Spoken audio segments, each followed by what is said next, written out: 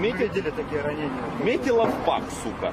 Да, Понимаете, да, да, как в Чечне. Да, да, да, да, мы видели такое, да. Да, ну, одного человека, кстати, гражданского.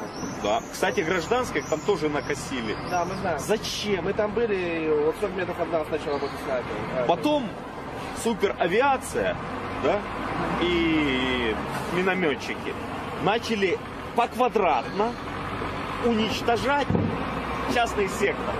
Зачем? Зачем? Ну что же вы делаете? Там же, там же мирные люди живут. Там же, возможно, дети, старики, женщины. Что вы делаете?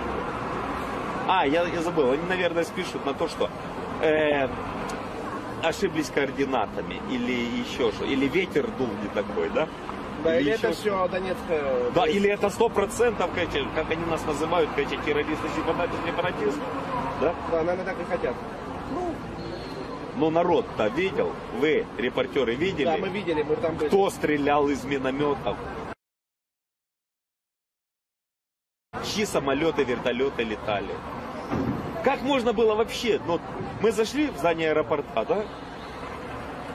Четко, вот так, просто, вот как-то живо. Не трогать вообще имущество аэропорта, потому что оно построено на наши же деньги.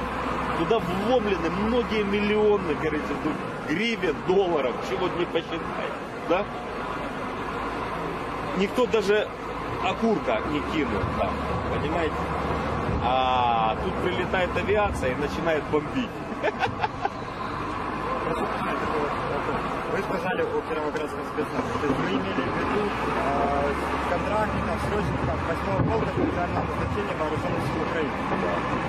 Это, это классные пацаны. Я очень сожалею о тех хлопцах, кто там остался.